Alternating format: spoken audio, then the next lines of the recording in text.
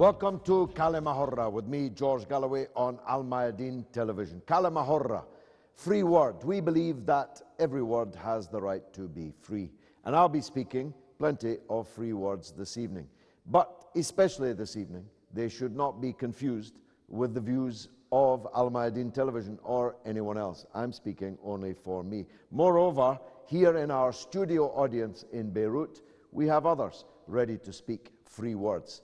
And no one else is responsible for their free words either.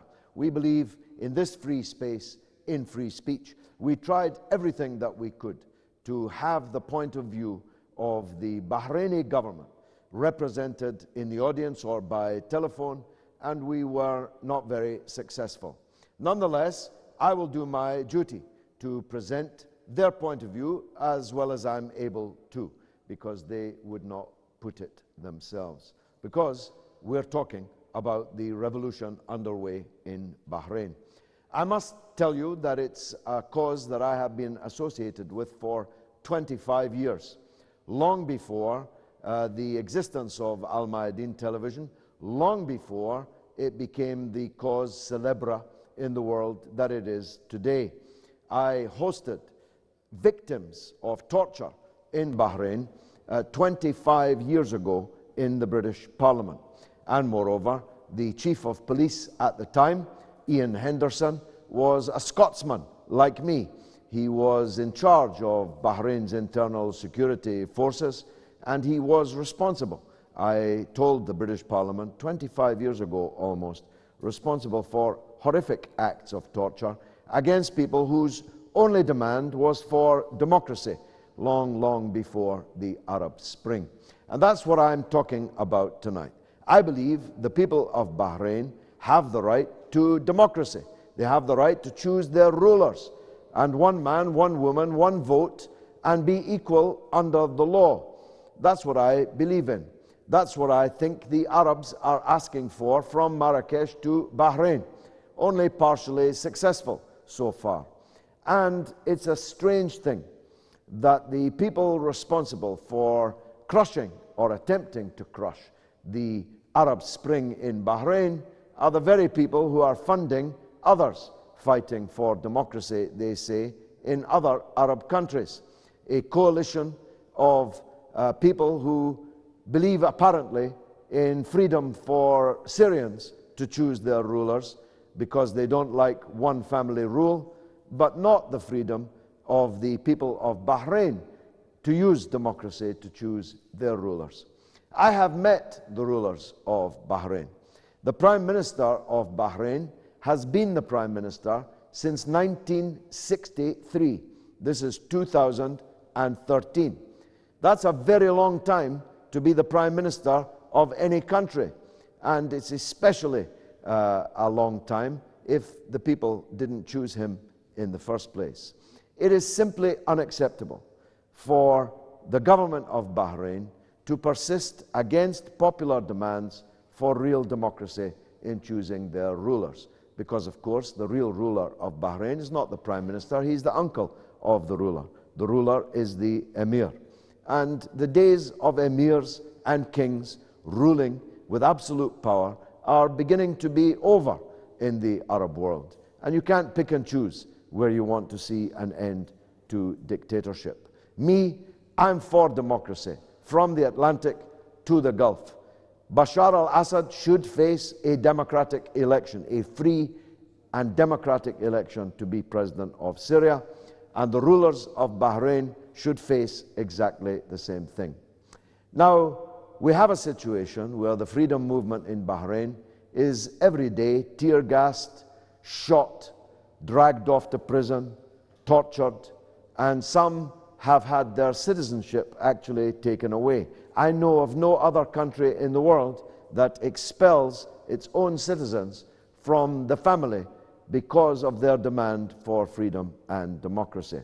Moreover, Bahrain has been invaded and occupied by neighboring countries who sent their armed forces in to occupy Bahrain in order to try and crush the freedom movement there. They have failed, and I predict they will continue to fail.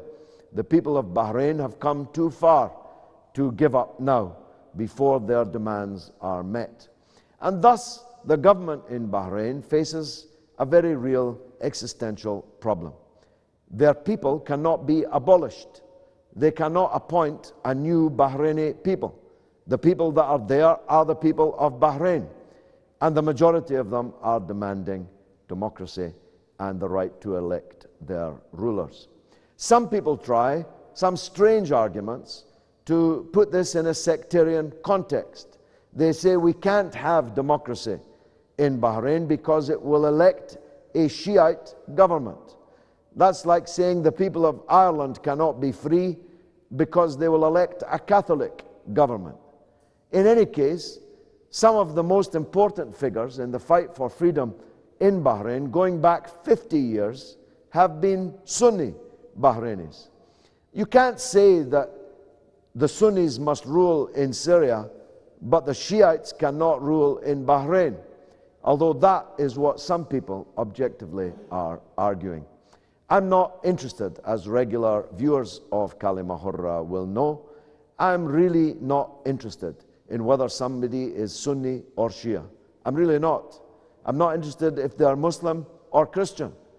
I believe that all men and women are God's children, and they all have an inalienable right to be ruled by a government of their choosing. That's why I'm on the side of freedom in Bahrain. And nobody asked me, paid me, bullied me, or bludgeoned me into that position. That's my default position. Now, I mentioned earlier that one of the extraordinary tactics of the government of Bahrain is to actually expel from citizenship their own people. If they're going to do that as a ploy, we're going to have a Bahraini people, none of whom have the passports of their own country. Uh, Mr. Sadan, you were, I think, shot in the course of the freedom struggle in Bahrain. Please give us uh, your uh, take on how things stand in Bahrain now? في الواقع الإصابة حدثت في مسيرة سلمية المسيرات الليلية التي تخرج بشكل يومي تطالب بالحرية والديمقراطية والرد الطبيعي من هذا النظام هو استخدام الغاز واستخدام رصاص الشوزن الذي يعذب أكثر من أنه يقتل حيث يتم استهداف المتظاهرين في الجزء الأعلى من الجسم.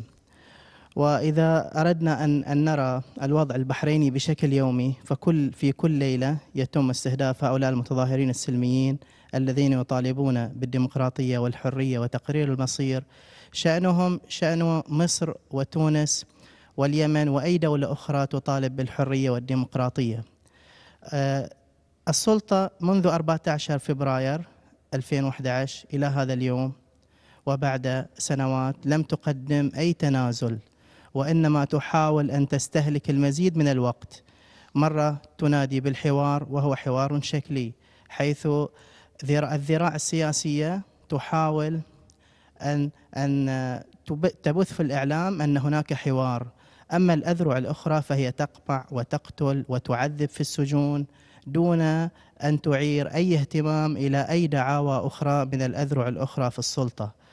وأنا لا أقول أن هناك صراع في هذه في هذه السلطة بين الأذرع أبدا. هناك تنسيق واضح حيث مع كل دعوة للحوار يتم القمع بشكل مركز وتتم ربما يسقط بعض الضحايا والشهداء لأن المعارضة ستكون في وضع جدا صعب حيث تقبل الحوار في ظل قمعة أمنية قوية. وإذا رفضت الحوار يكون الرد واضح من السلطة أن المعارضة رفضت الحوار والتواطؤ الدولي يكون غطاء واضح لهجمة شرسة تكون على المعارضة قبل أن تكون على سائر المتظاهرين من الناس هذا وضع البحرين منذ 14 فبراير 2011 إلى هذا اليوم Well, the, the leaders are in prison. How can there be a dialogue?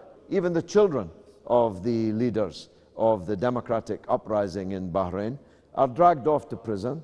Daughters, even, of the leaders are dragged off to prison uh, just for the crime of being the daughter of one of the leaders of the democracy movement in, uh, in Bahrain. Uh, George, uh, you're a, a, an expert on these, uh, these matters and not directly uh, involved. Uh, how do you see the situation in Bahrain? آه، الحقيقة أن الوضع هو معقد للغاية آه، لأن المطالب الشعبية لا يمكن لأحد أن يقف في طريقها خصوصا في هذا القرن الذي أصبحت آه، تتحكم به التقنيات بشكل كبير. في حين أننا في الشرق الأوسط لا نزال نبحث عن الحرية عن رغيف الخبز عن لقمة العيش عن الجنسية عن الهوية وهي تقريبا قد تخطاها العالم المتحضر الذي يبني استراتيجية مختلفة تماما. لكن في الواقع سأكون موضوعيا إلى حد بعيد. أولا يعني من يقف حقيقة آه، في ظل هذه الاندفاع نحو مطالب اجتماعية سياسية وطنية حقة هي عقبات آه، ثلاث. العقبة الأولى مع الأسف الشديد أن الصراع في البحرين يأخذ إلى حد بعيد المناخ أو الهندام الذي ارتدته الثورات العربية من تونس حتى اليوم أي يبنى على اعتبار طائفي ومذهبي. وهذا مع الأسف أنها حقيقة قائمة دون أدنى شك. العقبة الثانية هي التدخل الخارجي في آه، ما يجري في البحرين. وهذا بطبيعة الحال نتيجة صراع المحاور آه، في المنطقة. وبالتالي هذا الأمر لم يعد خفيا على أحد. البعض يقول بأن ما يجري هناك آه، طبعا نظام له تحالفاته مع الولايات المتحدة الأمريكية. هناك معارضة وثورة لها ارتباطاتها بإيران بشكل أو بآخر. والدليل على ذلك أن سماحة السيد حسن نصر الله كان له أكثر من موقف داعم لما يجري في البحرين. الأمر الثالث والمهم هو هناك مجلس التعاون الخليجي. هذا المجلس له خصوصيته على مستوى النظام وتحالفاته. ما يزيد من هذه التحالفات هو وجود النفط والغاز باعتقادي هذه هي المعادلة الكبرى التي تحمي هذا النوع من الأنظمة لأن الدول الكبرى الدول الصناعية تحديدا الولايات المتحدة في طليعتها تريد استقرار النفط واستقرار الغاز قبل أي شيء آخر في هذه المنطقة الحيوية من العالم. وطبعا المعادلة معادلة الاستقرار هنا الاستقرار النفطي تأتي من خلال الاستقرار عند الأنظمة الأنظمة القائمة والتي تشكل بمجموعها تقريبا آه، تحالفا قويا دون أدنى شك هو دول مجلس التعاون الخليجي. لذلك نرى أن ما جرى يعني هو نوع من الإزدواجية الكبيرة جدا بمعنى أن بعض الدول يرفض التدخل في الشأن الخليجي الداخلي في حين أن هذه الدول تتدخل في ثورات وفي ما يجري في دول أخرى وهذا تناقض كبير. نرى أن هذه الدول تدعم آه، طبعا توجهات سياسية لها بعد ديني متطرف في حين أنها تحارب البعد الديني المتطرف في دولها. نرى أن هناك أموال تذهب لدعم جهات لدعم مشاريع لدعم استثمارات إلى ما هنالك في حين تحجب عن مواطنين عزل يفتقرون إلى الحد الأدنى من الحياة الحرة الكريمة.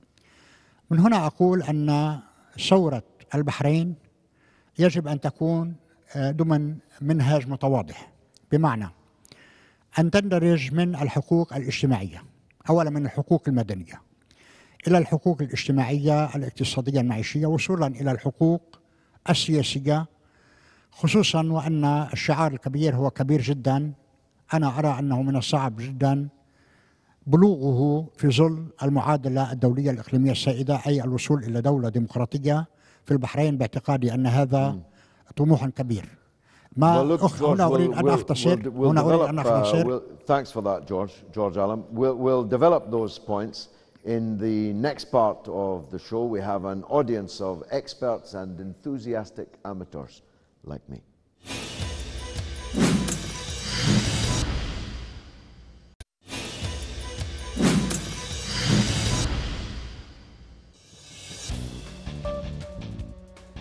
Welcome back to Kalimahurra with me, George Galloway, on Al Mayadeen Television. We're talking about the revolution in Bahrain.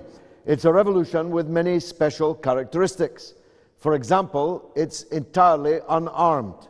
The people of Bahrain are out on the streets every day, and none of them have weapons, although weapons are being used in profusion against them.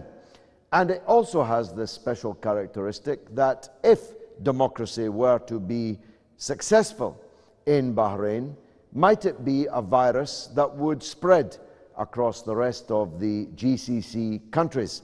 And is that the reason why the GCC countries have sent their forces into Bahrain to try to preclude the advance of democracy there? We're talking with one of our experts, uh, special guest, George Allam.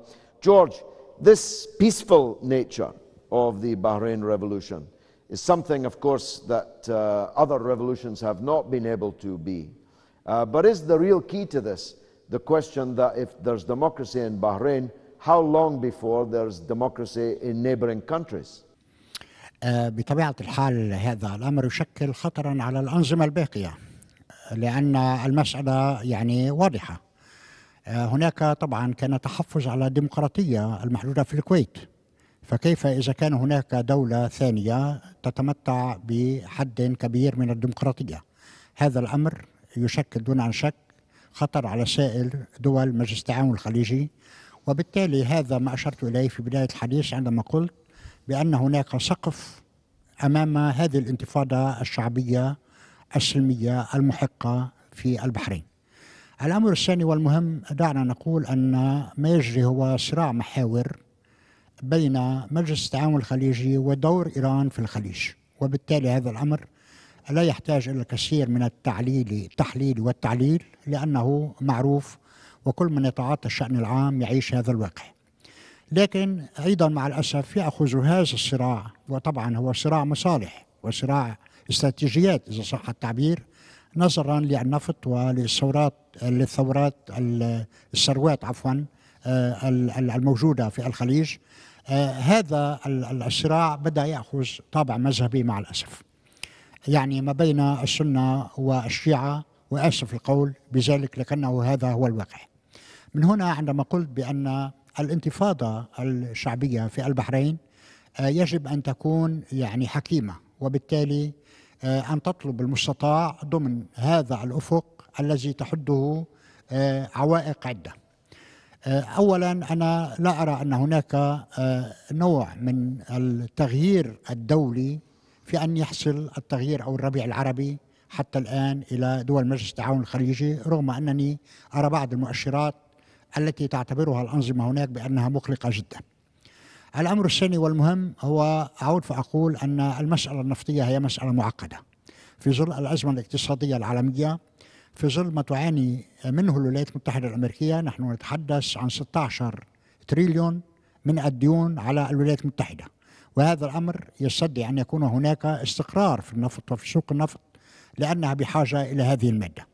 الأمر الثالث أنا لا أرى أن هناك توجه جدي لاندلاع فتنة لا سمح الله آه، مذهبية لأن هذا الأمر سوف يحرق الشرق الأوسط بكامله وبالتالي لن تبقى دولة آه، بحياد عن ذلك ربما يؤشر ذلك إلى حرب عالمية كونية وهذا الأمر خطير للغاية. لذلك رغم أن الانتفاضة هي محقة وبالتالي لا يجوز في هذا القرن اليوم أن نصنف بين مواطن درجة أولى ومواطن درجة ثانية. هذا الأمر لا يجوز لكن على الانتفاضة في البحرين أن تكون عقلانية هناك فرصة لا أدري مدى جديتها لقد دعا الملك حمد بن عيسى إلى الحوار. باعتقادي على المعارضة أن تلتقط هذه الفرصة لأنه الخيار الوحيد وبالتالي أي مكسب تستطيع أن تحققه من خلال هذا الحوار سيكون إلى مصلحتها أعتذر على هذه الإطالة وأمل أن يكون لي مداخلة أخرى في هذا البرنامج Well, thanks, George. Let's talk uh, to someone in Bahrain from the uh, Al Wifaq uh, movement. Uh, Mr. Said Majid Milad, I hope, is on the telephone line now. Said Majid, are you there? Thank you very much. Now, uh, George Alam, one of our experts, was just making the point that the Bahraini opposition needs to be rational. It needs to take account of certain uh, realities. He called them ceilings uh, to the aspirations of the Bahraini people, and that you should seize this opportunity of an offer of dialogue. How do you react to that, Majid? بسم الله الرحمن الرحيم شكرا لهذه المشاركة أولا لم توصف أي معارضة في العالم بالعقلانية كما وصفت عقلانية المعارضة في البحرين وذلك أن مع انتهاكات التي يرتكبها النظام الانتهاكات الفظيعة من القتل والتعذيب وهدم المساجد وهناك خمسين نوع من أنواع انتهاكات حقوق الإنسان. مع ذلك كانت تطالب المعارضة بالحوار ولا بد من إخراج البحرين من أزمتها عن عبر الحوار. فهذه عقلانية جدا كبيرة جدا مع العنف المفرط التي الذي سجله السيد بسيوني في تقريره عندما جاء إلى البحرين وسلم تقريره إلى الملك. قال بأن هناك قوة مفرطة جدا تستخدمها العسكر والامن ضد المتظاهرين السلميين. مع ذلك آه، المعارضة تدعو للحوار وتوافق على الحوار هنا في البحرين آه، دعا الملك إلى حوار فوافقت عليه قوى المعارضة على أن هذا الحوار لا توجد في الظاهر مؤشرات على نجاحه ولا مقدمات على جديته فمن المفترض أن تكون هناك أجواء مهيئة لأن يكون هذا الحوار ناجحا مع ذلك ولرغبة آه، المعارضة لإنهاء هذه الأزمة في البحرين ولعقلانية هذه المعارضة أيضا وافقت على الدخول في هذا الحوار من أجل إيجاد صيغة سياسية للخروج من أزمة البحرين. Yes, but uh, these ceilings that George Alam talked about, the ceiling that democracy in Bahrain might be a harbinger of democracy in the, in the Gulf uh, Cooperation Council uh, area as a whole, the presence of the United States fleet in your country, the interest that the United States has in containing uh, Iranian influence in the region, and the role of Iran itself. From my point of view, if Bahrain and Iran are very close together geographically, if the Bahraini opposition were to take up arms, no doubt Iran would be able to help them in that, and the whole place could become a conflagration. But your movement has been entirely peaceful and has eschewed the possibility of armed uh, conflict. Is that likely to last, uh, Majid? Or will the point come where the Bahraini people cannot go on being killed and gassed and tortured and assassinated and will have to take up arms?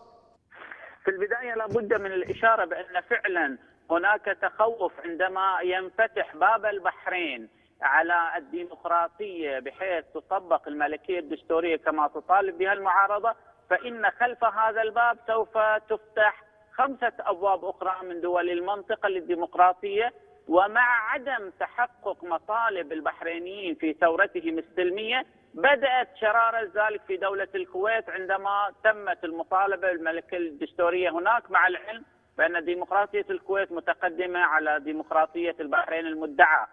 فنعم هناك تخوف خصوصا من الجار الكبير المملكة العربية السعودية أن يطالها هذا التغيير وإن لم توافق أن تغير هذا النظام التي آه، تعيشه. فسوف يأتي التغيير ورياح التغيير قادمة قادمة على على دول المنطقة. ثانيا آه، تمت الإشارة إلى عامل ايران آه، أود أن أشير أن البعض قد وصف آه، الثورة في البحرين بأنها طائفية. وللأسف الشديد هذا قد نجح وانطلع على بعض المراقبين السياسيين. ولكن للعلم هي وطنية بامتياز بدليلين. الدليل الأول أن من جاء إلى البحرين آه، من جاء الملك لقد جاء الملك بالسيد بسيوني في رئاسة اللجنة المستقلة لتقصي الحقائق أفاد بأن الثورة في البحرين ثورة وطنية بامتياز وليست لها امتداد خارجي. والدليل الثاني وإن كانت الأكثرية الشيعية هي التي تحركت في البحرين ولكن للعلم بأن هناك علماء شيعة هم يساندون النظام في البحرين وهناك بعض السنة أيضا معتقلين من ضمن الثوريين في البحرين. فهذا دليل قاطع بأن ثورة البحرين لا طائفية مطلقا وإنما هو خلاف بين فئتين. الفئة الأولى تريد أن تغير النظام الاستبدادي إلى الديمقراطية والفئة الثانية تحافظ على مكتسباتها ضمن إقامة الدكتاتوري واستمرارها. فإذا آه، نحن نرى أن التغيير قادم قادم خصوصا في ظل الظروف آه، الإقليمية آه، الإقليمية المتغيرة وأن المملكة العربية السعودية تجتاحها. الآن بدأت تجتاحها بعض البسيرات والاحتجاجات التي تطالب أن يكون هناك إصلاح. وهذا ما يعتمد عليه النظام في البحرين أن تكون هناك في المملكة العربية السعودية سند كبير لهم لأن الجيش السعودي قد دخل إلى البحرين باعتقاد أن هناك آه، يعني ثورة غير سلمية وقد قتل بعض الشهداء في ميدان آه، اللؤلؤة الذي ما زال محظورا آه، لمدة سنتين الآن. وهذا دليل بأن الثورة مستمرة. والآن هذا الحوار سوف تدخله أيضا المعارضة سيد مجيد thank you uh, for that from the Al Wifaq movement in Bahrain itself. Look, all this sectarian talk is throwing sand in the eyes of people to try to blind them to this reality. There is an Arab revolution going on. There is an Arab spring. The Western leaders say that they support rev revolution for democracy in the Middle East. The Western leaders say that they support one man, one woman, one vote in some Arab countries, but appear to be, by their actions, against democracy in others. Principled people have to take a principled stand on this. The Bahrainis have the same right to elect their rulers as any people in the world. It is not a sectarian demand. Sunnis are in jail. Sunnis were in the foundation uh, building uh, bloc that launched this Bahraini revolution. Not two years ago, but 50 years ago. This is an attempt to confuse people in order to protect authoritarian, dictatorial, one family rule in Bahrain. If you support democracy, then you should be behind the Bahraini revolution. That's my point of view, but we'll hear the point of view of my studio audience after this.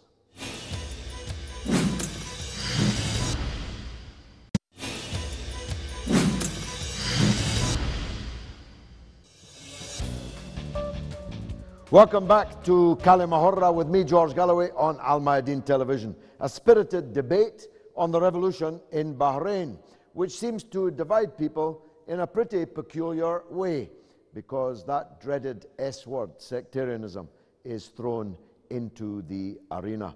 We're talking to as many sides of this argument as we can get to join the debate. We heard earlier from Al Wifaq in Bahrain, and we will hear other voices, different voices, contrary voices from Bahrain in the course of this debate. But here in the audience, we have Abdullah from the uh, Bahraini Forum on Human Rights. Abdullah, how does it look to you? What do you say? في البداية أحب أن أنا أعطي خبر ربما يكون مضحك بس يوضح الوضع شلون صاير عندنا بالبلد بالبحرين اليوم تم محاكمة أحد الشهداء محاكمة أحد الشهداء ثلاث سنوات يعني هو في القبر وتم محاكمته ثلاث سنوات علما إنه تم اعتقاله من المستشفى وتم اتهامه بالتظاهر في وقت اعتقاله في المستشفى. الأمر الآخر 14 فبراير ذكرى الثورة. في هذه الذكرى هي أيضا ذكرى الثورة وهي ذكرى انقلاب وهذا ما أحب أن أشير أو أعلق على الأستاذ جورج.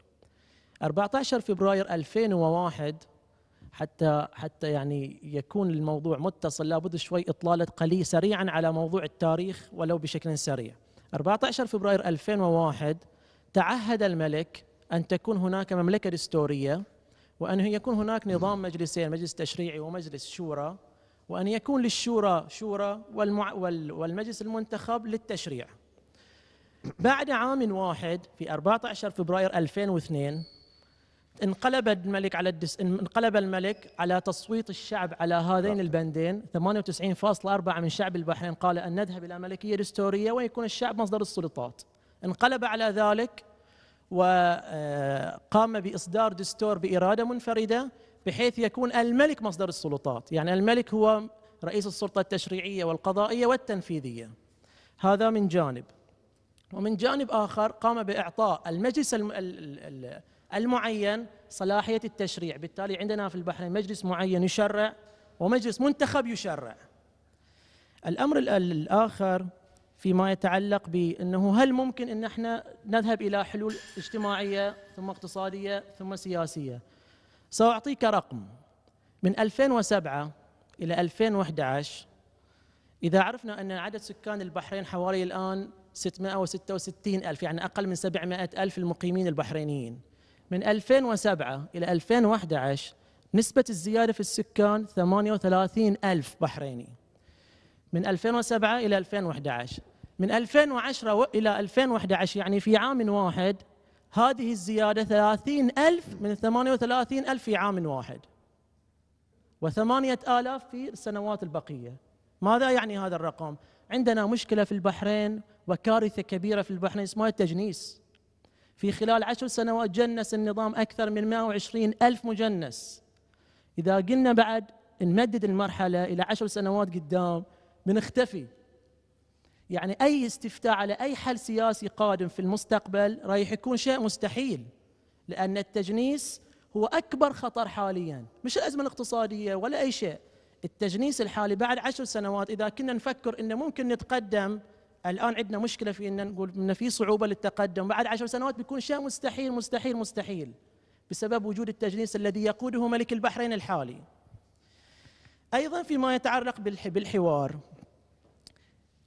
إذا إذا قلنا بأن النظام قبل عشر سنوات انقلب على دستور وأصدر دستور وانقلب على 98.4 من شعب البحرين هل هذا النظام يمكن أن يفي بالتزامات بحوار؟ الأمر الآخر الملك يقول في تصريح له في دير شبيغل قبل تقريبا عام يقول إن نحن عندنا ملكية دستورية ماذا تريدون أنتم يا شعب البحرين؟ وزير الخارجية يقول بأن عندنا ملكية دستورية ماذا تريدون أنتم يا شعب البحرين؟ إذا كان رموز النظام يقول بأن ما نعيشه الآن هي الملكية الدستورية فكيف تحاور أناس مقتنعين تماما بأن ما يعيشونه هو حاليا هو الوضع الديمقراطي. وأضيف من يمنع الديمقراطية في البحرين ليس هي السعودية فقط وليس هي العائلة الحاكمة فقط التي عمرها بالمناسبة هي من عام 1783 نتكلم عن 230 عام يحكمون البحرين. وليس فقط رئيس الوزراء الذي كان يحكم من عام 1966 يعني بعد ثلاث سنوات يكون نصف قرن يحكم البحرين. من يمنع الديمقراطية في البحرين رقم واحد هي أمريكا. أمريكا قبل أن تدخل قوات درع الجزيرة إلى البحرين قالت بأننا نخشى أن تدخل إيران عسكريا إلى البحرين بالتالي يعملوا إصلاحات سياسية حتى لا تدخل أمريكا تدخل إيران على الخط في البحرين. بعد أن دخلت قوات درع الجزيرة صرحت صرحت كلينتون قالت أن هذا دخول قانوني ومن حق البحرين أن تدافع عن نفسها. تدافع عن من؟ تدافع عن أناس متظاهرين لا يملكون حتى سكين ولا حتى عصي. بالتالي من يمنع الديمقراطية حقيقة في البحرين رقم واحد هي أمريكا رقم اثنين هي السعودية رقم ثلاثة هي الذهنية القبلية التي ترفض الديمقراطية.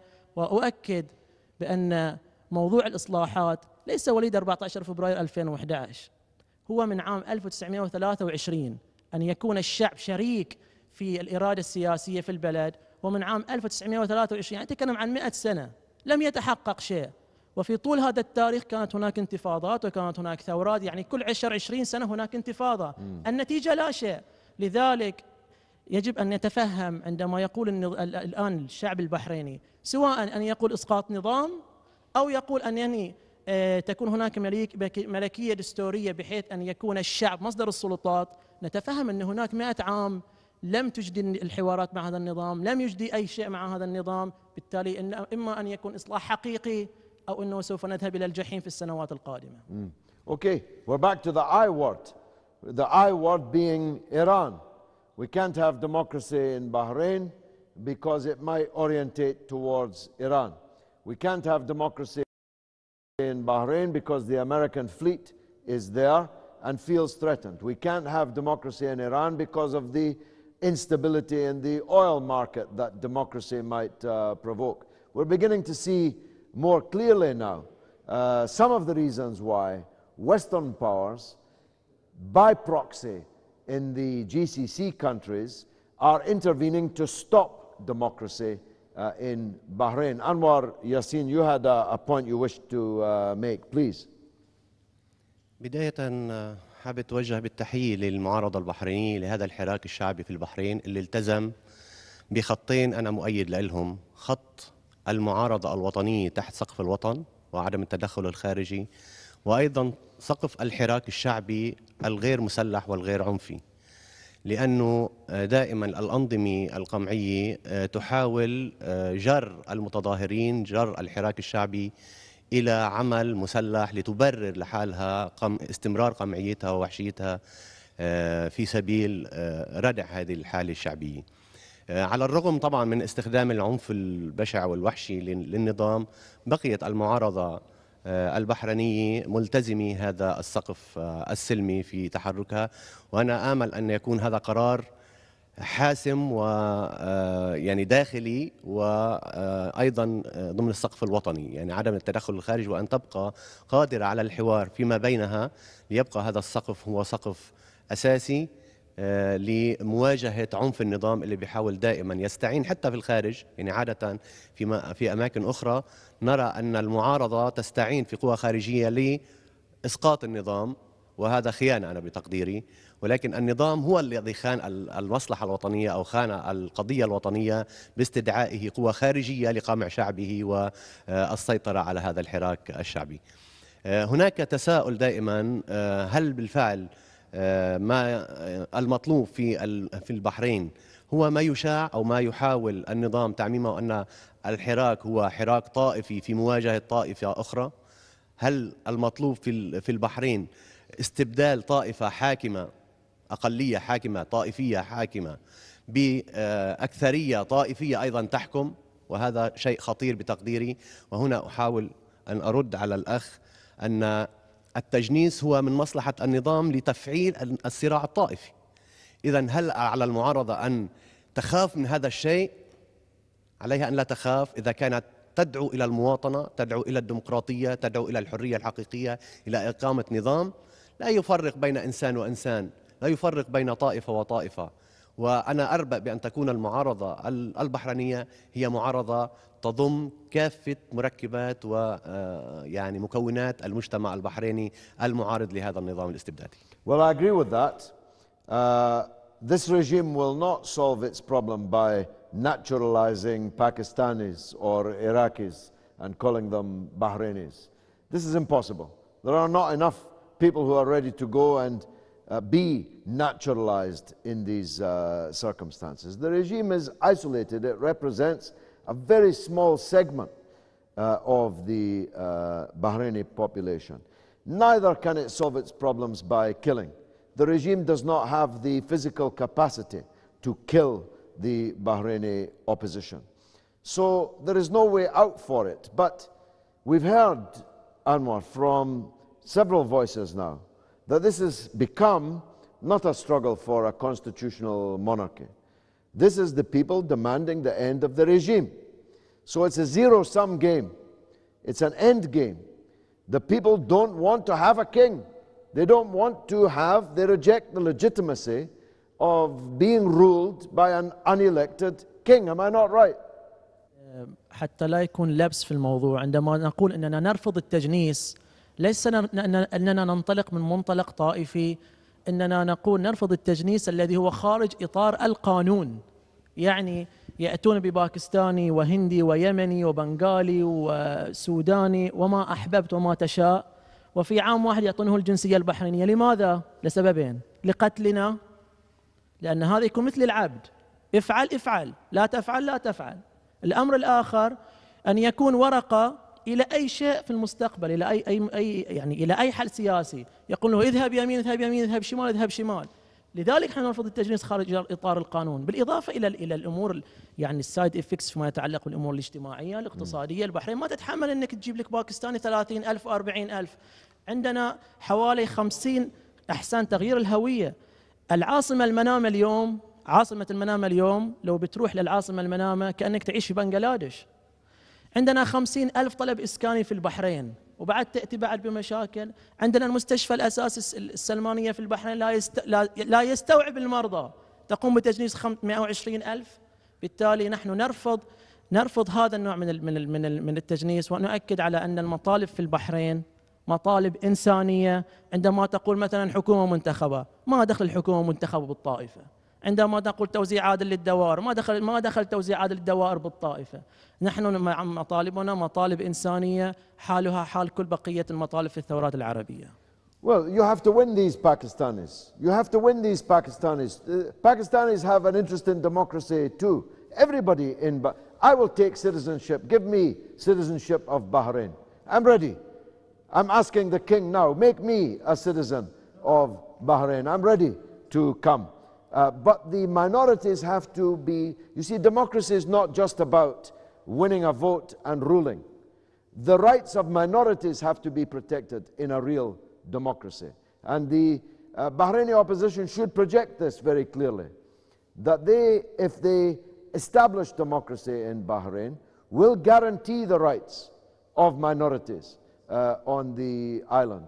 By the way, in my constituency in England, I have a lot of Pakistanis. Wallahi. And they are very fine uh, people.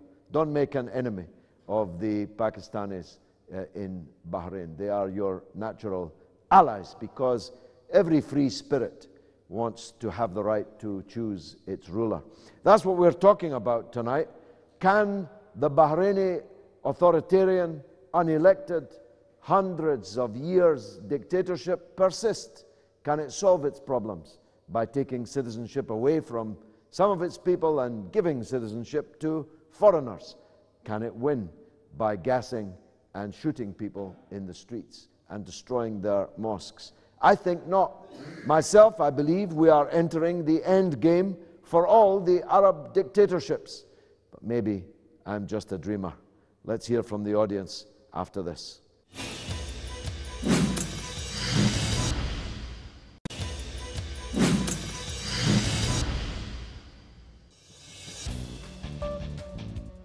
Welcome back to Kalimahorra with me, George Galloway, here in Beirut for Al Mayadeen Television.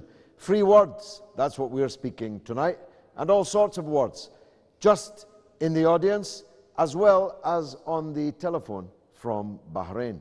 And I'm glad to say we're joined by a fellow parliamentarian, uh, Sheikh Jassim Saidi, who is, uh, uh, let me say, a supporter of the government in Bahrain. At least I think he is. Uh, Sheikh Jassim, uh, the people demand the end of the regime. Uh, that's the slogan we're hearing. How does it look to you?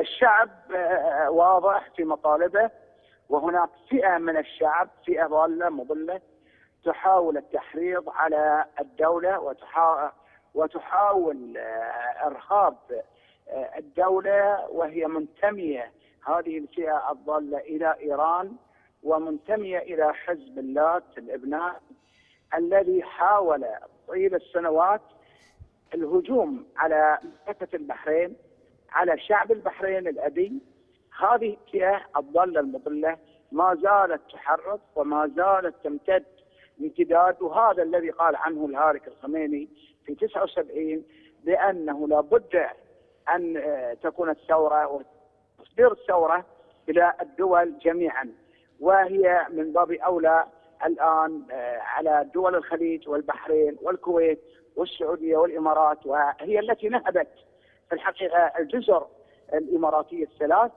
وهذه لا شك أنهم مجرمون في حق الدول الخليج الدول المسلمة الدول العربية الدول التي وخاصة البحرين التي الآن فيها ديمقراطية وفيها مجلس نواب اختاره الشعب وأتى به الشعب وهناك دستور وهناك آه، مراقبة للقضايا على على عمل الحكومة تشريعات من مجلس النواب وأنا من النواب الخمسه الآن اللي ابتدينا من آه، 2000 إلى الآن 2000 و2002 إلى 2013 Sheikh Jassim, look, you say they're a minority. They don't look like a minority on the television.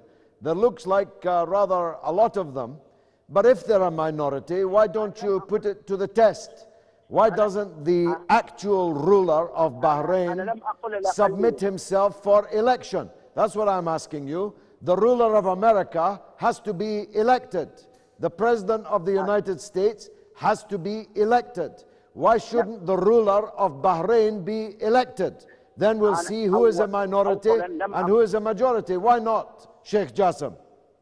أنا اولا أنا لم أقل هناك آه، آه، اقليه وإنما قلت فئة ضالة فرق بين العبارتين فالرجاء الفهم صحيحا هناك فئات آه، المجتمع آه، المجتمع عندنا يهود عندنا نصارى عندنا مجوس عندنا سيخ عندنا هندوس عندنا اطياف الديانات واللادين وفئات كثيرة جدا. أنا تكلمت عن فئة فقط التي هي من إيران وهي منتمية إلى حزب الله الإيراني هذه الفئة هي التي تحافظ على القتل وسفك الدماء وقتل الأبرياء إلى غير ذلك، هذه الفئة أتكلم عنها، أنا أتكلم عن فئتين وإنما المجتمع البحريني Jassim, كثيرة. I'm asking you, why doesn't the ruler of Bahrain stand for election?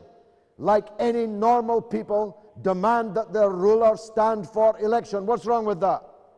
اقول اقول ان ال- مملكه البحرين عندها دستور واضح ودستورها آه، لا يجيز الانتخاب آه، إلى م- ملك البحرين فالمملكه دستوريه ويجب علينا ان نحترم هذا الدستور الذي اصبح توافق عليه شعب البحرين Why? Why? Is there something, is there something unusual about the Bahraini people that they don't have the right to elect their leaders? What's so special about Bahrain that a king brought by the Khawaja and put on a throne and all his sons forevermore have the right to rule Bahrain? What kind of country could that be? نحن نتكلم عن مملكة البحرين التي ارض- ارتضى الشعب جميعا على أن يكون الملك آه، بدون انتخاب But the entire people don't والملك هو accept الذي it. يعين Have you, رئيس you can see the streets of الوزراء Bahrain. What do you mean ويعين accepted by the وزراءه. entire people? What do you mean accepted by the entire people? The whole world is watching you shooting and gassing and torturing your own people. What are you talking about? لا مو صحيح. مو صحيح هذا الكلام. هذا كذب وافتراء. هذا كذب وافتراء. نحن نقول عن فئة واضحة ونعرف أهدافه كما ذكرت لك وما زالت هذه الفئة آه، تعمل على شق الصف البحريني بكل فئاته وهذه فئة معروفة وبالنسبة لنا وجلالة الملك أعطاهم الحرية وأعطاهم آه، الشفافية وأصبحت ديمقراطية لم تكن في المنطقة بأسرها مثل ديمقراطية البحرين والحرية في البحرين حرية التعبير والتحدث في هذا الجانب Okay, Sheikh Jassim, thanks very much for putting your view so clearly. Please, uh, if you would, stay on the line so that you can join in uh, the debate at uh, appropriate uh, points. Let me turn now to uh, Syed Jafar uh, to hear his point of view. Syed Jafar. نعم بسم الله الرحمن الرحيم المشكلة في البحرين ليست هي بين حكومة مستبدة وشعب يطالب بالحرية المشكلة في البحرين أننا عشنا منذ سنوات كلها قهر وظلم شديد جدا جدي آه، عاش تحت قهر آه، الشيخ سلمان ووالدي حينما كان يتحدث أنا أعطي هذه أمثلة. ووالدي حينما كان يعاني الأزمات كان يتحدث عن وجود آه، ترابط سني شيعي في أحلى وأجمل صوره وعشت في طفولتي ذلك ولا زلنا هذا الجو موجود.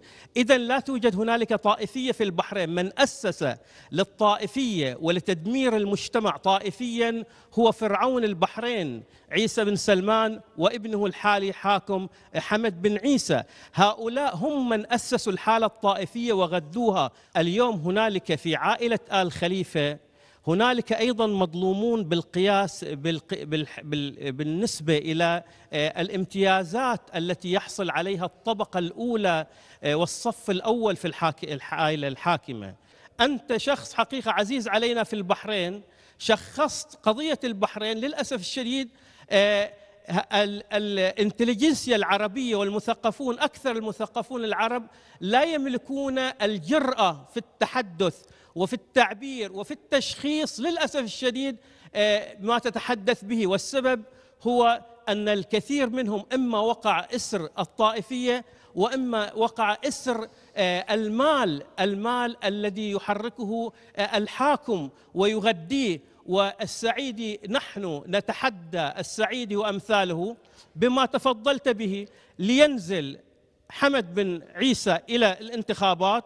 ولياتي اي شاب من شباب البحرين الواعين الفاهمين ولنرى من يختار لنجري القرعه صناديق صناديق الاقتراح هي في النهايه من تحدد ولكن حقيقه uh, maybe he would win uh, Sheikh Jassim thinks uh, that you're representing only a category uh, and a minority uh, at that well, Said, uh, let me just take some of the audience, uh, if I may, some of the students in the audience who, yes, sister, please, because we want everyone in this, men and women, young and old. Go ahead, madam.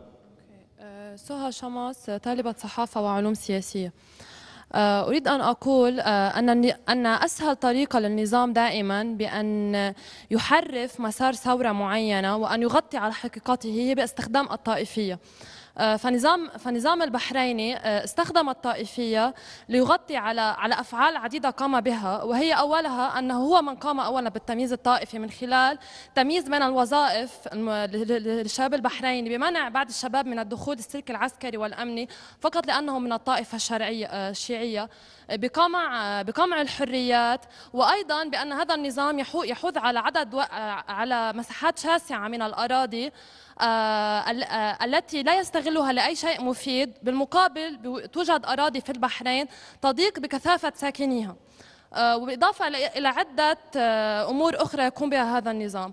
وأريد أن أقول شيئا آخر بأن ربط الثورة البحرينية آه، بالنظام الإيراني.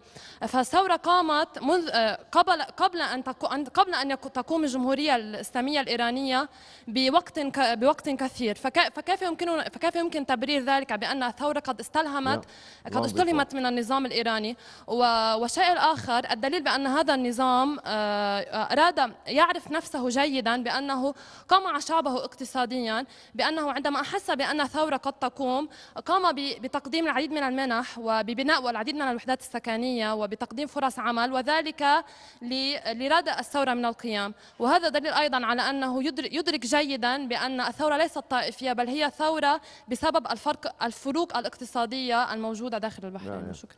The same regime, by the way, which collaborated in the destruction of the regime in Iraq, which provided a base for the Americans to invade, occupy, and destroy Arab power in Iraq, now wants to portray itself as a champion of uh, Sunni Muslims. I think the young woman in the audience has put it perfectly. This is all smoke and mirrors. This is all sand in the eyes. It's an attempt to confuse people so that they are deviated from the essential point why shouldn't the rulers of Bahrain be elected by the people? The rulers of any normal country are elected by the people. The Arabs are no longer accepting kings and kingdoms and their absolute power. They didn't accept the phony Pharaoh of Mubarak, and they don't accept the king appointed, self appointed, British appointed king of Bahrain the Bahrainis demand the right to elect their regime. This is the bottom line, at least as far as this free man is concerned. We'll hear from others after this.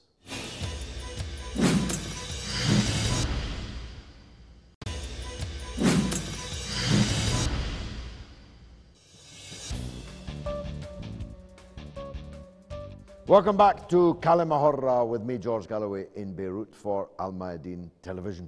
We're discussing increasingly hotly the revolution in Bahrain. The different points of view are on offer. You can take your pick. Let me hear from a student in the audience. Yes, sir. مساء الخير تامر أصابلي Good evening. خريج إدارة أعمال مواطن لبناني يعني صرنا من أول حلقة عم نسمع الآراء وبنعرف شو الأنظمة وبنعرف شو الثورات وبنعرف الظلم اللي بتصير من الأنظمة للشعوب. بس هيك بحب رد شوي على الشيخ اللي تلفن واللي هو مؤيد للنظام. وبحب أقول له إذا عم بيتهم الثوار إنه هن بينتموا لحزب الله فهيدا شرف هي مش مش تهمة ومش إهانة. وهي بتشرف كل العروبة وكل الناس اللي بتقاوم إسرائيل إذا بجيب سيره حزب الله. إذا بحب يعرف كمان أنا مني شيعي لحتى ما يفكرني عم دافع حزب الله. أنا مسيحي من منطقة الأشرفية. بس بحب وجه له هيدي الرسالة. حزب الله مش جاي يعمل دولة شيعية بإيران ومش جاي يعمل قاعدة عسكرية بالبحرين عفوا لحتى يواجه السعودية. هن حاسين بهالخطر وهن عم بي شوهوا صورة هالثورة لحتى يعملوا تفرقة ويقسموا المنطقة لأنه معروف شو المشروع بالمنطقة. معروف شو الإمبريالية بدها من هالمنطقة. معروف أنه هالمشروع بالمنطقة للتقسيم ولتفتيت الدول لدويلات طائفية ومذهبية ضلت تتناحر وتتصارع ببعضها. كرمال هالموارد الموجودة عنا إن كان الحضارة إن كان الأديان إن كان الطبيعية إن كان البشرية عم يستوردوا منا كل شيء وبيبيعونا اياه مصنع جاهز.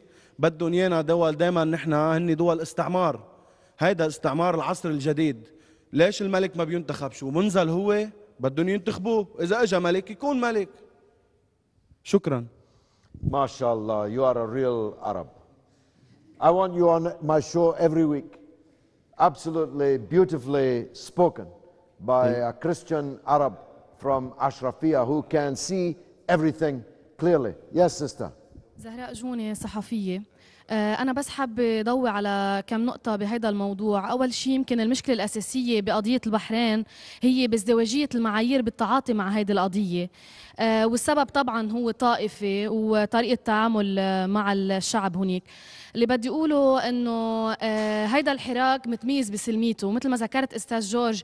يعني ما شفنا لحد اليوم ولا حدا آه، نزل حامل سلاح من هدول من الشعب طبعا يلي عم بيطالب اللي هو ضد النظام. بالعكس لقينا إنه الكل عم بيواجهوهم بال- بالأسلحة. قضية البحرين أنا بعتبر إنه هي قضية محقة وهي قضية إنسانية ومن حق الشعب هيدي أبسط حقوقه إنه هو يختار اللي بده يحكمه ومش عادل أبدا إنه يطلع الملك وبده يحكم من دون انتخابات. آه، أنا بس آه، بدي أسأل سؤال يعني ليه الشيخ جاسم ما ذكر عن آه، موضوع هدم المساجد يلي عم بتصير اليوم بالبحرين؟ شو موقفه من هذا الموضوع؟ شو تبريره؟ ولما اليوم بده يجي يتهم حزب الله وإيران شو بطل في بالساحة غير حزب الله وإيران؟ شو ما صار إنه نتهمهم؟ ما عليه ما نحن كمان عنا عقول ومنفكر ومش كأي قضية بدها تصير ما بطل في بالواجهة خ- غير حزب الله وإيران. أنا بس آه، بالنهاية بدي أقترح اقتراح صغير. هذه الحلقة عن جد هي كتير مهمة وبتضوي كتير على قضية البحرين.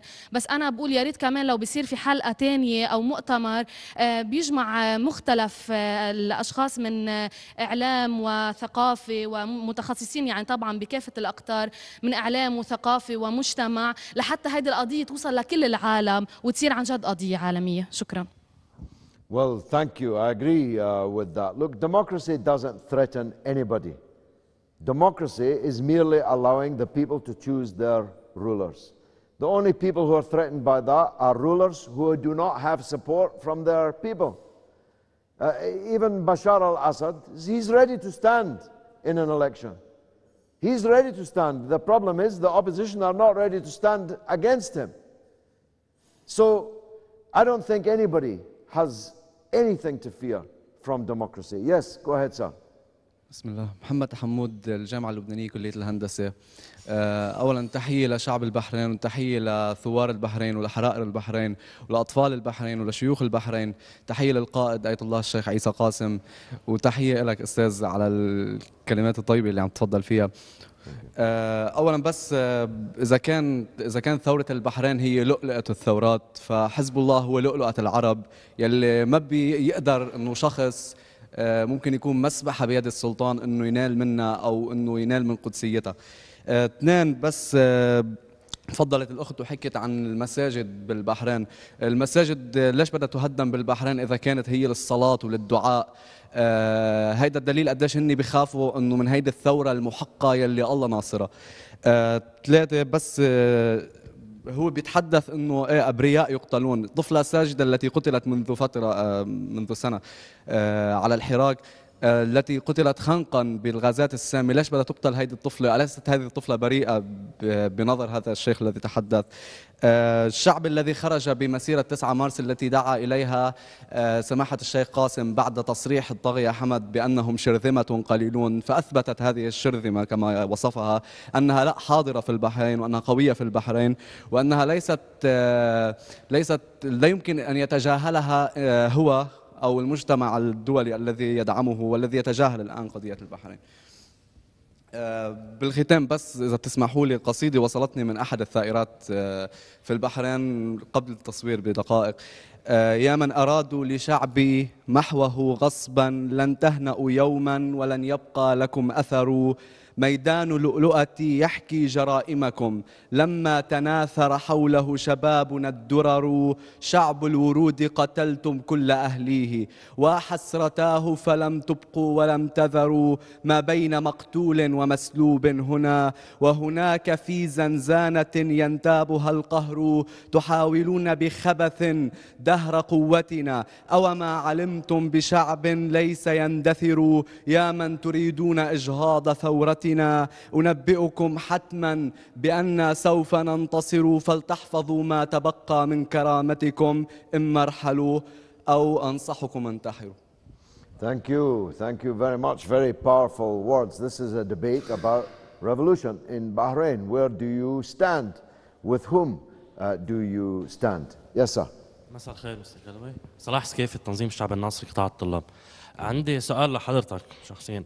نحن كلنا هون بنوافق إنه ثورة البحرين هي من أطهر الثورات وأشرف الثورات وأكثر الثورات سلمية بالعالم العربي. بس كلنا شايفين التعتيم الإعلامي اللي صاير والظلم ال- المش... بين كل العالم العربي ما حدا بيحكي عنها للثورة هذه وآخر شيء بنشرات الأخبار بتنذكر. برأيك لو هيدي الثورة صارت قبل الحراك بسوريا كان صار هلا التعتيم ولا كان أخذت حقها مزبوط؟ ولا برأيك إنه كل شيء بالخليج مكتوب عليه دل معتم ما له علاقة بهالحراك؟ Well, it's a very good uh, point. The Western media is completely uninterested in Bahrain but is full of news from Syria. And their case against Syria is that it's one family rule. Their case against Syria is that the president has all the power and the people didn't elect him. The case against Syria is that the president belongs to a minority religious sect. Well, every single one of these allegations applies against the regime in Bahrain. Its ruler is one family rule. 280 years of it, that's even longer than the Assad's. His, rule, his regime is elected by nobody. And his regime rests, it seems, on a minority religious sect. So, why this double standard? It's obvious, and you and I both know it. They are afraid that if there's democracy in Bahrain, this democracy will spread to neighboring countries. And those neighboring countries are precious resources of the big imperial powers. Because the owners of those resources are ready to allow foreigners to benefit most from them. The rulers of those resources are ready to collaborate with Israel in the region and ready to follow the orders of the United States of America. These are the reasons why the Bahrain Revolution never makes it onto the news in the United States or in the United Kingdom and elsewhere. Is there a sister at the back there who wants to speak? Yes, go ahead. السلام عليكم أول شيء سارة عاشور طالبة بكلية الإعلام آه، صراحة لفتني شغلتين بالاتصال من الشيخ جاسم من شوي. أولا اتهم الشيخ جاسم المعارضة البحرينية بانتمائها إلى إيران وتبعيتها لحزب الله. هنا أطرح سؤالا. كيف توصل الشيخ جاسم إلى هذه النتيجة؟ أين رأى تدخلا إيرانيا أو تدخلا من حزب الله في الثورة التي يقوم بها الشعب البحريني؟ وهو يعلم أن حزب الله أو إيران إذا نوت أن تدعم الشعب البحريني فهي تدعم ذلك تدعمه دون خيفة من أحد ومثل ما بيقولوا على رأس السطح. أه كمان أين الدليل على ذلك وأي وين الدليل على هذا الاتهام؟ أنا شخصيا أشك أنه يملك أي دليل حسي أو ملموس بأكد كلامه. نعم نحن نتعاطف مع مظلومية الشعب البحريني ونقف إلى جانبه في هذه المحنة لأنه عيب علينا أن لا نقف آه، مع مظلومية هذا الشعب في هذه المحنة التي يواجهها وكغيرنا من آه، المواطنين في العديد من الدول آه، في العالم. آه ثانيا اعتبر الشيخ أن عمليات القتل والتعذيب والتنكيل هي مجرد أكاذيب وادعاءات وافتراءات السؤال هنا عشرات الشهداء الذين سقطوا منذ انطلاقة الثورة من قتلهم؟ هل هم ضحايا تسونامي أو ضحايا هزة أرضية؟ بالطبع هم ضحايا آه النظام الوحشي وآلة القتل التي تعمد في الليل والنهار على انتهاك حقوق الإنسان وعلى قتل المواطنين والإمعان في ذلك. وإن ادعى ذلك فإنه لا يستطيع أن يكذب أعيننا آه، وما نشاهده يوميا على آه، وسائل الإعلام وشاشات التلفزة. كلام الشيخ بحد ذاته وأنا أشكره على هذه المداخلة لأنه كان بحد ذاته إدانة وشهادة على شهادة أولا على مظلومية الشعب البحريني وإدانة للنظام الدكتاتوري الذي يمارس القمع بوجه الثورة السلمية المحقة. وشكرا. Well, look, I, I'm appealing through the camera to the people in Bahrain who are continuing to support the regime. There is no way out of this except democracy.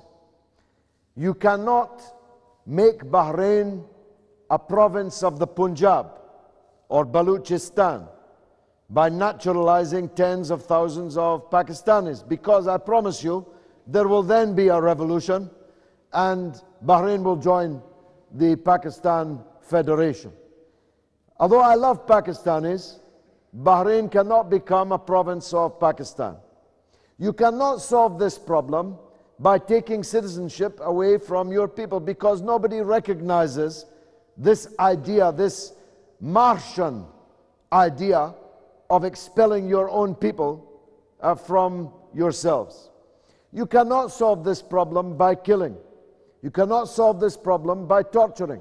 You cannot solve this problem by imprisonment. The people are too many. They are not a category. They are not a minority. They are not Iran. The revolution in Bahrain long predates the very existence of the Islamic Republic of Iran. They are not a branch of Hezbollah, although it would be an honor to be a branch of Hezbollah. They are not.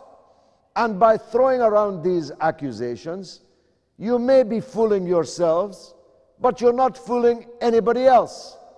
Even in the West, which has largely ignored the Bahraini revolution, people are clear about the issues.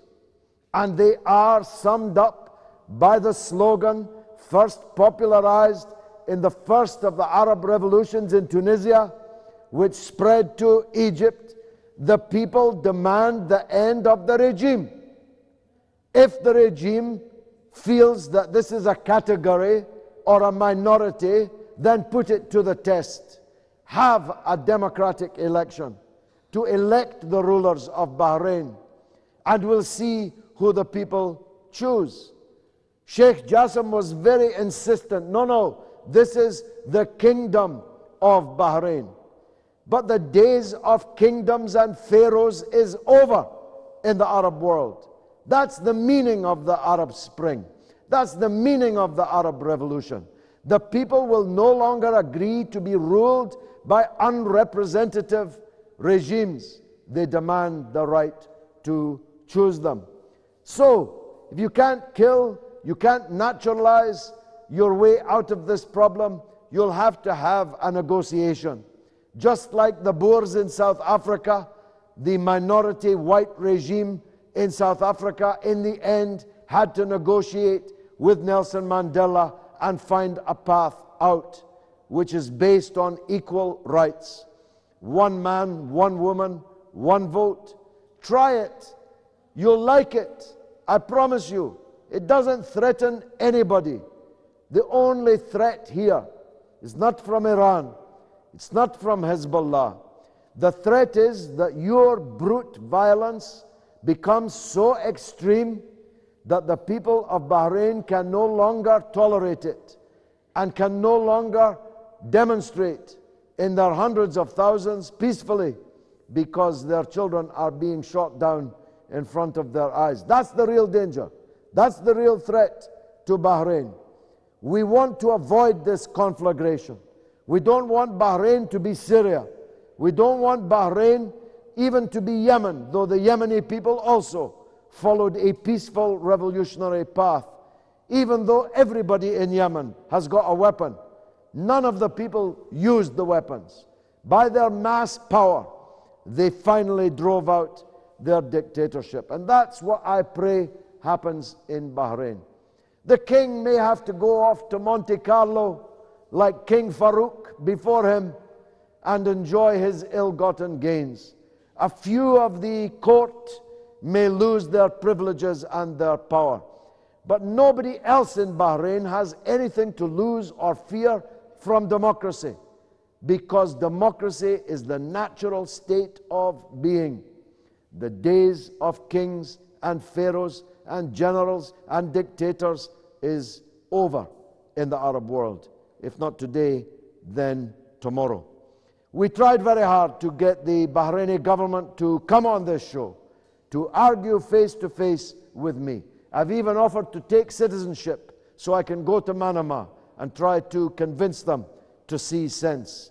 So far, we haven't succeeded, but we never give up here at Kalima Hurra on Al Mayadeen television. This is George Galloway saying, until we meet again. Arab power in Iraq now wants to portray itself as a champion of uh, Sunni Muslims. I think the young woman in the audience has put it perfectly. This is all smoke and mirrors. This is all sand in the eyes. It's an attempt to confuse people so that they are deviated from the essential point. Why shouldn't the rulers of Bahrain be elected by the people? The rulers of any normal country are elected by the people. The Arabs are no longer accepting kings and kingdoms and their absolute power. They didn't accept the phony Pharaoh of Mubarak, and they don't accept the king appointed, self appointed, British appointed king of Bahrain. The Bahrainis demand the right to elect their regime. This is the bottom line, at least as far as this free man is concerned. We'll hear from others after this.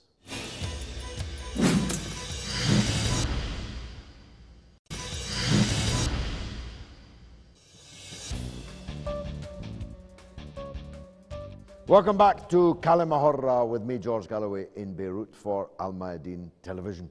We're discussing increasingly hotly the revolution in Bahrain. The different points of view are on offer. You can take your pick. Let me hear from a student in the audience. Yes, sir. مساء الخير تامر أصابلي Good evening. خريج إدارة أعمال مواطن لبناني يعني صرنا من أول حلقة عم نسمع الآراء وبنعرف شو الأنظمة وبنعرف شو الثورات وبنعرف الظلم اللي بتصير من الأنظمة للشعوب بس هيك بحب رد شوي على الشيخ اللي تلفن واللي هو مؤيد للنظام وبحب أقول له إذا عم يتهم الثوار إنه هن بينتموا لحزب الله فهيدا شرف هي مش مش تهمة ومش إهانة. وهي بتشرف كل العروبة وكل الناس اللي بتقاوم إسرائيل إذا بجيب سيرة حزب الله. إذا بحب يعرف كمان أنا مني شيعي لحتى ما يفكرني عم دافع حزب الله. أنا مسيحي من منطقة الأشرفية. بس بحب وجه له هيدي الرسالة. حزب الله مش جاي يعمل دولة شيعية بإيران ومش جاي يعمل قاعدة عسكرية بالبحرين عفوا. لحتى يواجه السعودية. هن حاسين بهالخطر وهن عم بي شوهوا صورة هالثورة لحتى يعملوا تفرقة ويقسموا المنطقة لأنه معروف شو المشروع بالمنطقة. معروف شو الإمبريالية بدها من هالمنطقة. معروف أنه هالمشروع بالمنطقة للتقسيم ولتفتيت الدول لدويلات طائفية ومذهبية ضلت تتناحر وتتصارع ببعضها. كرمال هالموارد الموجودة عنا إن كان الحضارة إن كان الأديان إن كان الطبيعية إن كان البشرية. عم يستوردوا منا كل شيء وبيبيعونا اياه مصنع جاهز. بدهم ايانا دول دائما نحن هن دول استعمار. هيدا استعمار العصر الجديد. ليش الملك ما بينتخب شو؟ منزل هو بدهم ينتخبوه. إذا اجى ملك يكون ملك. شكرا. ما شاء الله you are a real Arab. I want you on my show every week. Absolutely beautifully spoken by a Christian Arab from Ashrafia who can see everything clearly. Yes sister. زهراء جوني صحفية. آه، أنا بس حابة ضوي على كم نقطة بهذا الموضوع. أول شيء يمكن المشكلة الأساسية بقضية البحرين هي بازدواجية المعايير بالتعاطي مع هذه القضية. والسبب طبعا هو طائفي وطريقة تعامل آه، مع الشعب هناك اللي بدي أقوله إنه آه، هيدا الحراك متميز بسلميته. مثل ما ذكرت أستاذ جورج يعني ما شفنا لحد اليوم ولا حدا آه، نزل حامل سلاح من هدول من الشعب طبعا يلي عم بيطالب اللي هو ضد النظام. بالعكس لقينا إنه الكل عم بيواجهوهم بال- بالأسلحة. آه، قضية البحرين أنا بعتبر إنه هي قضية محقة وهي قضية إنسانية ومن حق الشعب هيدي أبسط حقوقه إنه هو يختار اللي بده يحكمه ومش عدل أبدا إنه يطلع الملك وبده يحكم من دون انتخابات. آه، أنا بس آه، بدي أسأل سؤال يعني ليه الشيخ جاسم ما ذكر عن آه، موضوع هدم المساجد يلي عم بتصير اليوم بالبحرين؟ شو موقفه من هذا الموضوع؟ شو تبريره؟ ولما اليوم بده يجي يتهم حزب الله وإيران شو بطل في بالساحة غير حزب الله وإيران؟ شو ما صار إنه نتهمهم؟ ما عليه ما نحن كمان عنا عقول ومنفكر ومش كأي قضية بدها تصير. ما بطل في بالواجهة غير حزب الله وإيران. أنا بس آه، بالنهاية بدي أقترح اقتراح صغير. هذه الحلقة عن جد هي كتير مهمة وبتضوي كتير على قضية البحرين. بس أنا بقول يا ريت كمان لو بيصير في حلقة تانية أو مؤتمر آه، بيجمع آه، مختلف الأشخاص من إعلام وثقافة ومتخصصين يعني طبعا بكافة الأقطار من إعلام وثقافة ومجتمع لحتى هذه القضية توصل لكل العالم وتصير عن جد قضية عالمية شكرا Well, thank you. I agree uh, with that. Look, democracy doesn't threaten anybody. Democracy is merely allowing the people to choose their rulers. The only people who are threatened by that are rulers who do not have support from their people. Uh, even Bashar al Assad, he's ready to stand in an election. He's ready to stand. The problem is the opposition are not ready to stand against him. So I don't think anybody has anything to fear from democracy. Yes, go ahead, sir. بسم الله محمد حمود الجامعة اللبنانية كلية الهندسة آه، أولا تحية لشعب البحرين وتحية لثوار البحرين ولحرائر البحرين ولأطفال البحرين ولشيوخ البحرين تحية للقائد آية الله الشيخ عيسى قاسم وتحية لك أستاذ على الكلمات الطيبة اللي عم تفضل فيها اولا بس آه، إذا كان إذا كان ثورة البحرين هي لؤلؤة الثورات فحزب الله هو لؤلؤة العرب يلي ما بيقدر إنه شخص آه، ممكن يكون مسبحة بيد السلطان إنه ينال منها أو إنه ينال من قدسيتها. آه، اثنين بس آه، تفضلت الأخت وحكت عن المساجد بالبحرين. المساجد آه، ليش بدها تهدم بالبحرين إذا كانت هي للصلاة وللدعاء؟ آه هيدا الدليل قديش هن بيخافوا إنه من هيدي الثورة المحقة يلي الله ناصرها. آه ثلاثة بس آه هو بيتحدث إنه إيه أبرياء يقتلون. الطفله الساجده التي قتلت منذ فترة آه منذ سنة آه على الحراك. آه، التي قتلت خنقا بالغازات السامة ليش بدها تقتل هذه الطفلة؟ أليست هذه الطفلة بريئة بنظر هذا الشيخ الذي تحدث؟ آه، الشعب الذي خرج بمسيرة 9 مارس التي دعا إليها آه، سماحة الشيخ قاسم بعد تصريح الطاغية حمد بأنهم شرذمة قليلون فأثبتت هذه الشرذمة كما وصفها أنها لا حاضرة في البحرين وأنها قوية في البحرين وأنها ليست آه، ليست لا يمكن أن يتجاهلها هو أو المجتمع الدولي الذي يدعمه والذي يتجاهل الآن قضية البحرين. آه، بالختام بس إذا بتسمحوا لي قصيدة وصلتني من أحد الثائرات آه، في البحرين قبل التصوير بدقائق. آه، يا من أرادوا لشعبي محوه غصبا لن تهنأوا يوما ولن يبقى لكم أثر ميدان لؤلؤتي يحكي جرائمكم. لما تناثر حوله شبابنا الدرر شعب الورود قتلتم كل أهليه. وحسرتاه فلم تبقوا ولم تذروا. ما بين مقتول ومسلوب هنا. وهناك في زنزانة ينتابها القهر. تحاولون بخبث دهر قوتنا. أو ما علمتم بشعب ليس يندثر. يا من تريدون إجهاض ثورتنا أنبئكم حتما بأن سوف ننتصر فلتحفظوا ما تبقى من كرامتكم إما ارحلوا أو أنصحكم انتحروا Thank you. Thank you very much. Very powerful words. This is a debate about revolution in Bahrain. Where do you stand? With whom uh, do you stand? Yes, sir. مساء الخير مستر جلوي صلاح سكيف التنظيم الشعب الناصري قطاع الطلاب عندي سؤال لحضرتك شخصيا. نحن كلنا هون بنوافق إنه ثورة البحرين هي من أطهر الثورات وأشرف الثورات وأكثر الثورات سلمية بالعالم العربي. بس كلنا شايفين التعتيم الإعلامي اللي صاير والظلم المش... بين كل العالم العربي ما حدا بيحكي عنها للثورة هذه. وآخر شيء بنشرات الأخبار بتنذكر. برأيك لو هيدي الثورة صارت قبل الحراك بسوريا كان صار هل التعتيم ولا كان أخذت حقها مزبوط؟ ولا برأيك إنه كل شيء بالخليج مكتوب عليه دل معتم ما له علاقة بهالحراك؟ Well, it's a very good uh, point. The Western media is completely uninterested in Bahrain, but is full of news from Syria. And their case against Syria is that it's one family rule. Their case against Syria is that the president has all the power and the people didn't elect him. The case against Syria is that the president belongs to a minority religious sect. Well, every single one of these allegations applies against the regime in Bahrain. Its ruler is one family rule. 280 years of it, that's even longer than the Assads. His, rule, his regime is elected by nobody. And his regime rests, it seems, on a minority religious sect. So, why this double standard? It's obvious, and you and I both know it. They are afraid that if there's democracy in Bahrain, this democracy will spread to neighboring countries. And those neighboring countries are precious resources of the big imperial powers. Because the owners of those resources are ready to allow foreigners to benefit most from them. The rulers of those resources are ready to collaborate with Israel in the region and ready to follow the orders of the United States of America.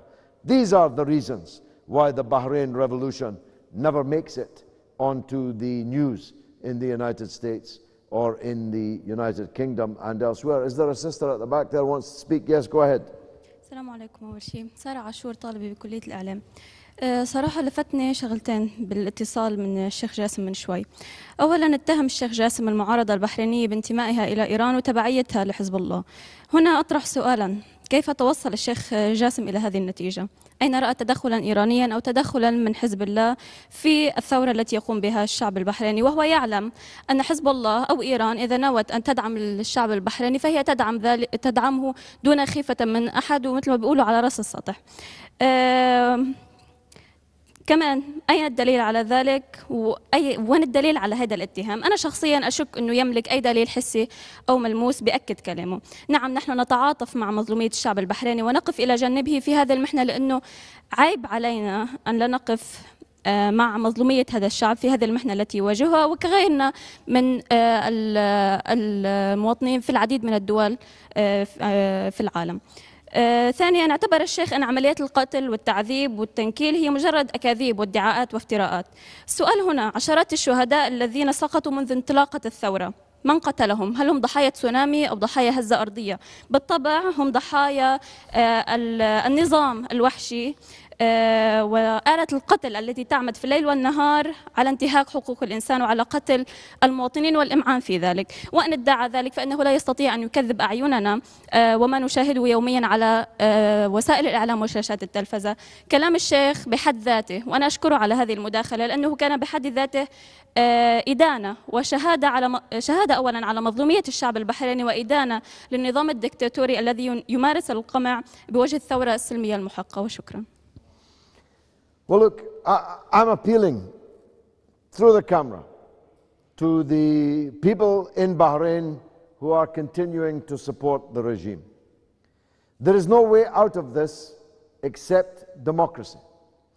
You cannot make Bahrain a province of the Punjab or Baluchistan by naturalizing tens of thousands of Pakistanis because I promise you there will then be a revolution and Bahrain will join the Pakistan Federation. Although I love Pakistanis, Bahrain cannot become a province of Pakistan. You cannot solve this problem by taking citizenship away from your people because nobody recognizes this idea, this Martian idea of expelling your own people uh, from yourselves. You cannot solve this problem by killing. You cannot solve this problem by torturing. You cannot solve this problem by imprisonment. The people are too many.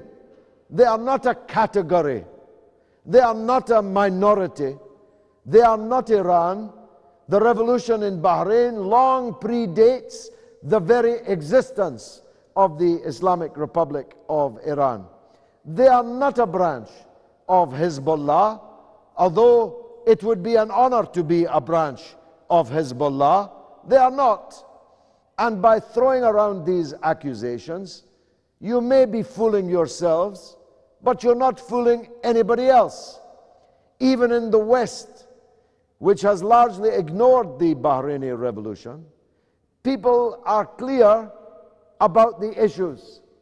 And they are summed up by the slogan first popularized in the first of the Arab revolutions in Tunisia, which spread to Egypt, the people demand the end of the regime. If the regime feels that this is a category or a minority, then put it to the test. Have a democratic election to elect the rulers of Bahrain, and we'll see who the people choose. Sheikh Jassim was very insistent no, no, this is the kingdom of Bahrain. But the days of kingdoms and pharaohs is over in the Arab world. That's the meaning of the Arab Spring. That's the meaning of the Arab Revolution. The people will no longer agree to be ruled by unrepresentative regimes. They demand the right to choose them. So, if you can't kill, you can't naturalize, your way out of this problem, you'll have to have a negotiation. Just like the Boers in South Africa, the minority white regime in South Africa, in the end, had to negotiate with Nelson Mandela and find a path out, which is based on equal rights. One man, one woman, one vote. Try it. You'll like it. I promise you. It doesn't threaten anybody. The only threat here is not from Iran, it's not from Hezbollah. The threat is that your brute violence becomes so extreme that the people of Bahrain can no longer tolerate it and can no longer demonstrate in their hundreds of thousands peacefully because their children are being shot down in front of their eyes. That's the real danger. That's the real threat to Bahrain. We want to avoid this conflagration. We don't want Bahrain to be Syria. We don't want Bahrain even to be Yemen, though the Yemeni people also followed a peaceful revolutionary path. Even though everybody in Yemen has got a weapon, none of the people used the weapons. By their mass power, they finally drove out their dictatorship. And that's what I pray happens in Bahrain. The king may have to go off to Monte Carlo like King Farouk before him and enjoy his ill gotten gains. A few of the court may lose their privileges and their power. But nobody else in Bahrain has anything to lose or fear from democracy because democracy is the natural state of being. The days of kings and pharaohs and generals and dictators is over in the Arab world. If not today, then tomorrow. We tried very hard to get the Bahraini government to come on this show to argue face to face with me. I've even offered to take citizenship so I can go to Manama and try to convince them to see sense. So far, we haven't succeeded, but we never give up here at Kalima Hurra on Al Mayadeen television. This is George Galloway saying, until we meet again, God willing, may you go in peace.